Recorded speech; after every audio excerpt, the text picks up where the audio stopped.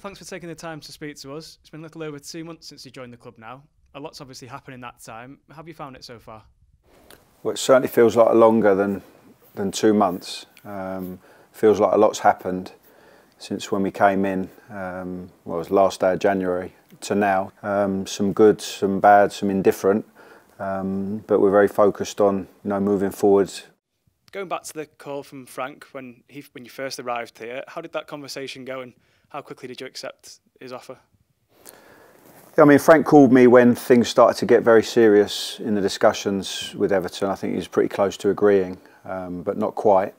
Um, you know, he asked me whether I'd be interested in coming, and I always thought that if I was going to go back to being an assistant again, it would be in this kind of role, um, assisting someone like Frank, who I'd known for a long time since he was since he was a player and worked with him, someone that I like and respect. And yeah, if I was going to do that role again, having been a manager the last five or six years, that it would be for someone like him. So it wasn't a difficult decision to come and work um, with Frank and you know a great coaching team in my my opinion, uh, and also a fantastic club like like Everton as well. So it wasn't uh, wasn't much thinking about to be honest. Uh, I think I got the call and two two and a half days later I was here back on the grass. How has your relationship with Frank evolved over time? Obviously a top player who you work with as you mentioned. A young up and coming coach now. How do your philosophies align and have you found work with him so far?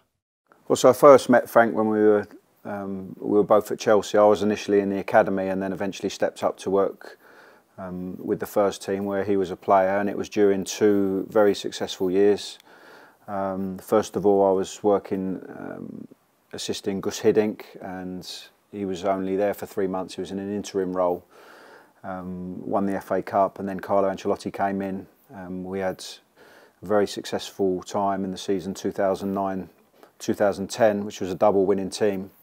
Um, Frank was, you know, I think at the peak of his powers there, along with Ashley, John Terry, Drogba, Cech. It was a it was a wonderful team to work with. A big experience for me. Um, my first experience of working at senior level football. So you know, our relationship goes back to then. We've kept in touch um, through the years. Um, I saw him when he was out in America. I was with Bayern Munich at the time. We met up for a coffee. Um, seen him at various other times, and my first, um, sorry, his first game as a manager uh, at Derby County was against me when I was manager of Reading. Um, so that was a, that was a nice thing, although it wasn't so nice for me when they won in the la- in the last minute of the game, uh, two one. You mentioned your experience in your career so far, obviously as an assistant, as a manager in your own right as well. How much, how important is that to this current coaching staff, and how much can you draw on that in these closing stages of the season? Well, I think from my own personal point of view, of you know, I still see myself as a relatively young coach, but maybe I'm actually not. I've been like 25 years now a coach. The last, what is it, 13, 14, working at senior level, both as a uh, as a as an assistant and also as a manager as well. lots of experience in there, of course. Premier League football, Championship football, European football, working in different leagues. So they're, they're all great things, but there's nothing more important than dealing with the now and the present. And, you know, we have a big task. And, you know, today's the most important day that we, that we have.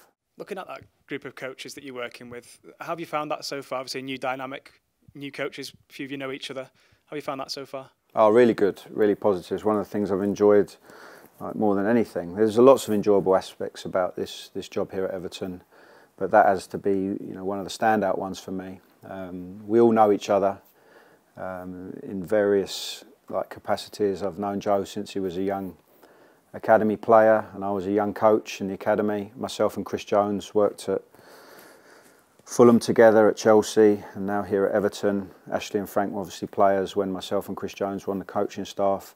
So we're a tight group, and along with Duncan and, and Alan as well, I think we've got a strong a strong coaching team, and I think it's you know one of the best staffs that I've worked on. No, no, no doubt about that. Looking more broadly um, at Everton, obviously you came up against Everton for a number of different clubs. What was your perception of Everton before joining the, club? Well, and not just perception, really the the reality of playing against them, particularly um, both in my time at at Chelsea and also when I was manager of Swansea, always difficult games. Um, clearly very, very difficult at Goodison, but also FA Cup final, um, games at Stamford Bridge, uh, games at the Liberty and Swansea come up against uh, Everton a lot. They're always tough games. You know, playing at Goodison, especially midweek under the lights, is um, quite daunting, especially for the players. I mean, a little bit different for the coaches because you're on you're on the side, but for the players, and having had lots of discussion with players over the years, it's they always talk about about Goodison. You know that traditional British stadium, English stadiums. Not many of them around now, but it's it's got a passionate, incredible atmosphere, and we've experienced that in the short term that we've been here. So I think between between the two, it is a powerful combination, and it was no better than at Leeds was one standout example, but the game against Newcastle with how that unfolded at the end. Obviously, we were hanging on at one point, having gone down to 10 men, but then to finish off with that 99th minute winner was as good as atmosphere I've ever experienced. It was absolutely fantastic, and look forward to more times like that in the in the next home games that we have. You mentioned your experiences of coming up against Everton, and it's always a difficult game. The attitude of the club and the, and the players and the fans. How much do you have to harness that and sort of implement that within the playing style, as well as obviously implementing your own coaching ideas and philosophies? I think the managers really tried to embrace that. You know, when he came in, he understood very clearly, having played at Goodison many, many times as a Chelsea player. He understands what the demands are of playing for the club and what the demands are of the supporters. You know, what they expect from their team, what they expect from their players. And I think his approach to the home games and what he's asked of the players, and the players have really embraced that, is that you know that high energy and pressing from the front where where possible, trying to create as many chances, get the crowd behind the team, is something that we have spoken about. Um, your title is first team coach. Appreciate it's a, a wide ranging role, but can you talk to us a little bit about your main responsibilities you've got? Well, I think you know Frank's very inclusive in the way that he approaches management, which is nice for everyone that, that works with him. So the immediate coaching team of Joe, myself, Ashley, Chris, um, Duncan, and Alan, we work very closely in collaboration with the manager. Manager's always in our in our office. He sits down at the end, and the discussions go on, you know, all day long around the preparation for games. So you know, we all have an input in the um, you know the selection of the team, the, the tactics, um, the training program, the analysis, uh, and ultimately the manager makes the, the, the, final decision, and that's that's really important. But you know he's got good staff around him, I think, that can offer their uh, not not so much opinion, but you know where they see it, um, and then you know, we get behind him and we get behind the players once that plan's once that plan's been set. I think um, you know there's lots of different skills and experiences in the room, um, from Duncan and Alan through to Ashley, myself, Chris and Joe. They're all they're all slightly different, and I think that's important. It's important not to all think exactly the same, not all be alike, because there are different ways, and it's up to us to put those ideas across. But then when the manager decides that that's the plan, that we're all totally behind it, and um, you know we really help in reinforcing those messages with the players because when they go onto the pitch, when the pressure's high and things are moving so quickly, they need to be really clear in their mind about what we're asking of them individually and also um, as a team as well. Very, very important. We spoke to Joe uh, fairly recently, and he spoke about the importance of having one-to-one time with the players and getting as much of that individual working as possible. How important do you find that as well? Yeah, I think individual relationships with players is is very important. Um, you know, you want to try and get the best out of each individual. You have to understand that each individual is a different personality. What works for them, what what doesn't. Um, so getting to know them on a one-to-one level is very important, um, and that's part of the jigsaw puzzle of putting together a a team that can be effective in, in, in working together. So I think having a you know an experienced staff, um, an open staff, a staff that's you know, pretty good on the communication side, can only help the players. And you, you'll see us on a day-to-day basis, you getting around all the players. Um, we try not to leave anyone or isolate anyone that doesn't get that sort of time to have those discussions, whether it's on an informal basis or whether it's more formal, sitting down in a meeting room, particularly with video, to feedback on, on performance. One of the areas I wanted to ask you about was something the manager touched on recently. You mentioned the work you've been doing with the players on set pieces. Was that an area you quickly identified as one to improve? I, mean, I think it was one of the things that could have been improved, and there was lot, there were, there were lots of things, and there continue to be a lot of things. Um, you know, the manager has given me some responsibility regarding um, the set plays, both on the defending and, and the attacking side. It's something that uh, I had quite a bit of experience of working under working under Carlo. Since those years, I think set plays have um, evolved a lot in in the way they're analysed, in the use of data. Um, some teams even employ you know, an absolute specialist set play coach that that is their only responsibility. I think mine's a little bit a little bit wider than that. Um, but you know, we're working hard on them. I think we did get some pretty quick improvement. That's probably plateaued off or dipped very slightly. Um, you know, which I'm going to address with the players in the coming days and games, because I think it can be a real strength of ours. Because I, I recognise in us that we've got players that have got you know, good delivery. Unfortunately, Andros is now injured, but in, in Anthony and um, Demarai and Donny, we've got all players that can hit a good ball into dangerous areas, and we've got some powerful, powerful lads in the, in the box as well. Obviously, not having Yerry's been a been a bit of a blow, but Ben's back now. Um, we've seen Mason score, we've seen Michael Keane score. So we've got to try and build on that. I think every opportunity that we get from a set play is a chance for us to create a good goal scoring chance with those players. On the defensive side, um, I would say certainly some improvement early on. You know, if I refer particularly to the Newcastle game, where you know we're playing one of the best set play teams in the, in the country, um, and we defended 17 set plays in that game. A lot of them coming in injury time.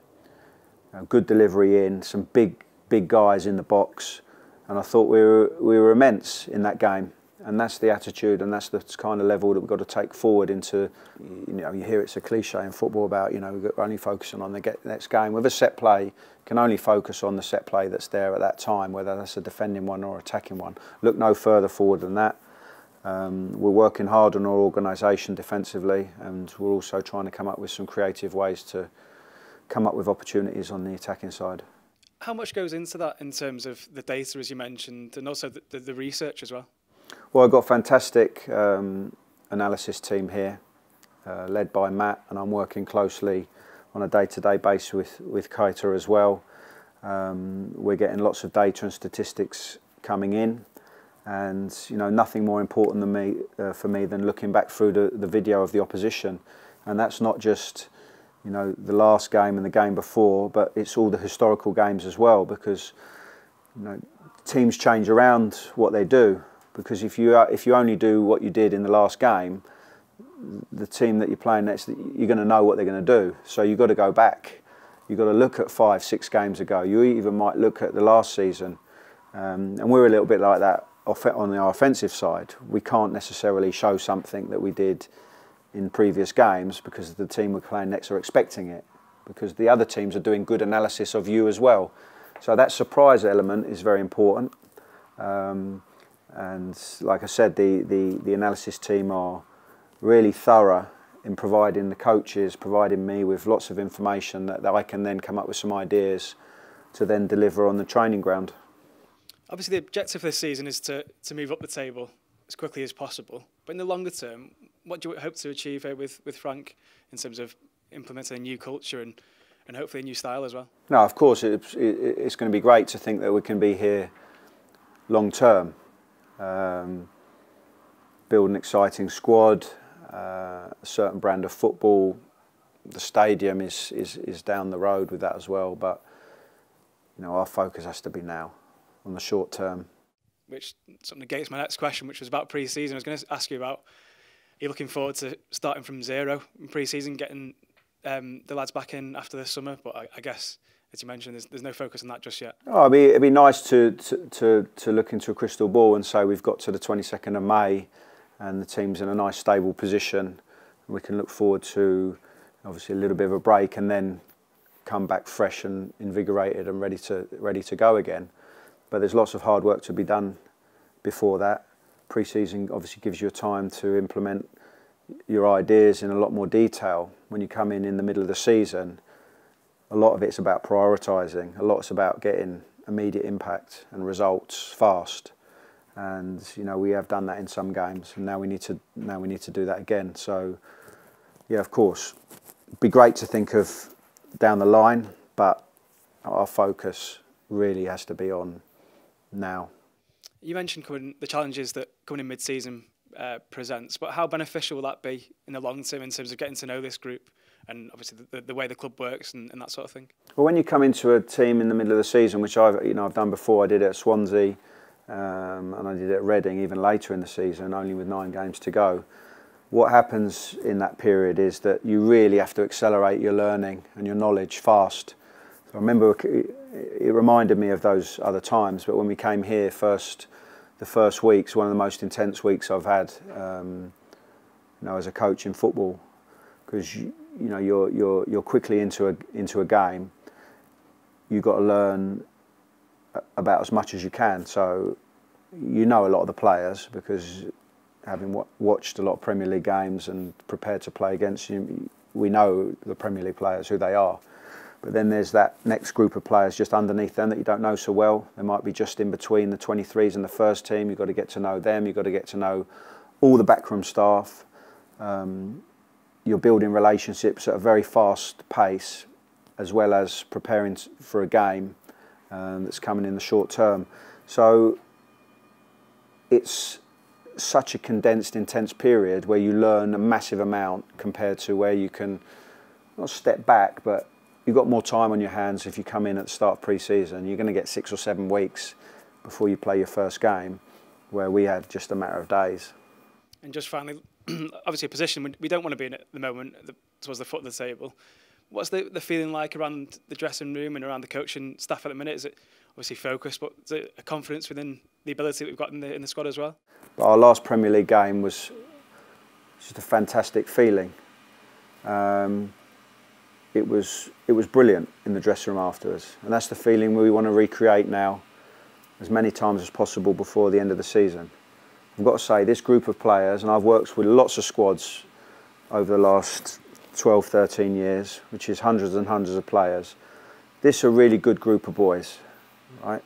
They're working hard every day. They're focused. Um, they're very compliant in following the ideas of the manager and the coaches. So they're a really good group to work with, and they want it. They really want to do well, and I think they're going to do it. I think they are. We've got a lot of belief in them. See, some of the performances have been a little bit up and down, um, but we totally believe in, in this group of players. They're hard-working, they're focused, they know what needs to be done. See, the more and more the games go on, that pressure intensity grows but it's up to all of us to be able to step up and, and handle that. Now, we're in a privileged position to be working at Premier League Football Club, uh, a really good Premier League football club in Everton, and we're all going to be fighting until that very, very last game this season.